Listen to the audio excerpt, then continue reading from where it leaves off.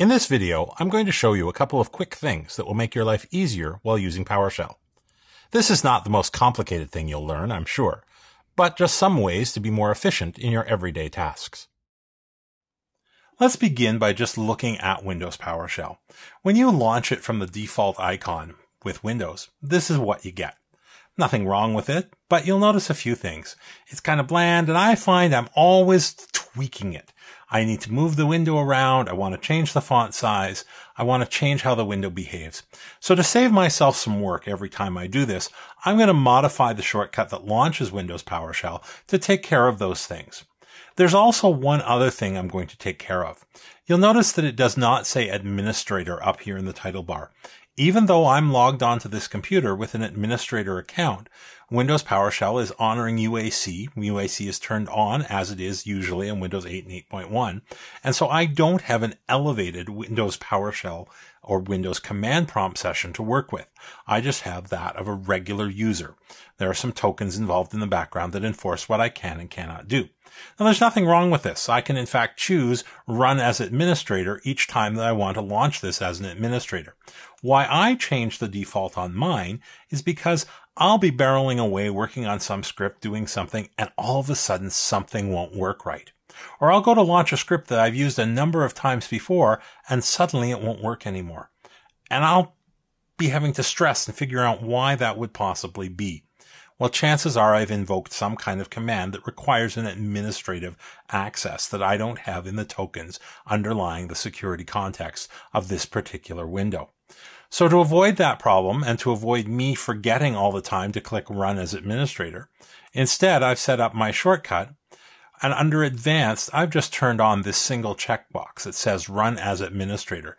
Now this doesn't bypass UAC, but it means that each time I launch it, I'm automatically prompted to elevate to a administrative user. I don't have to remember each time.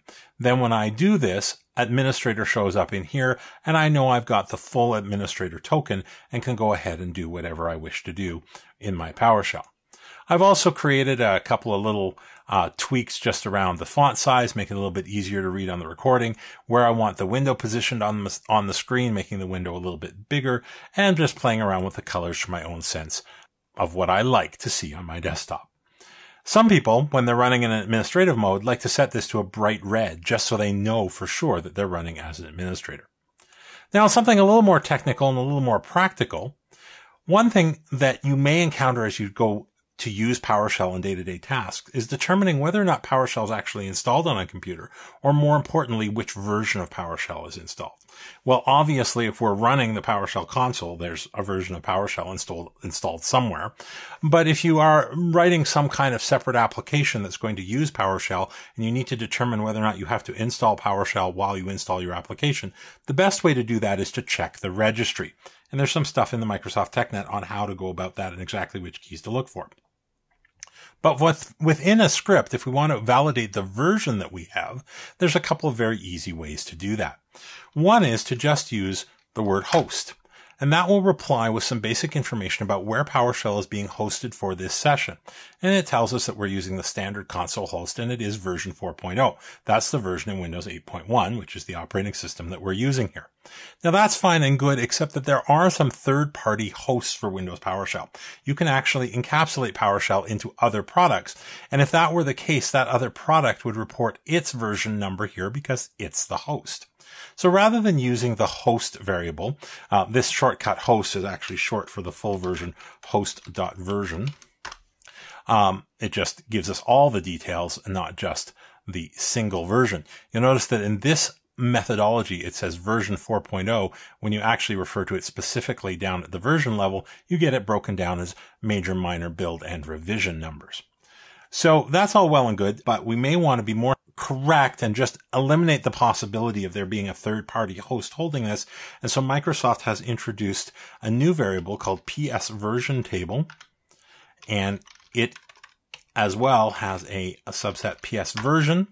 And you'll see that it's exactly the same, which is what we would expect to find here. Now, querying the whole PS version table is also rather useful because it returns another, another bunch of interesting and useful information about the system.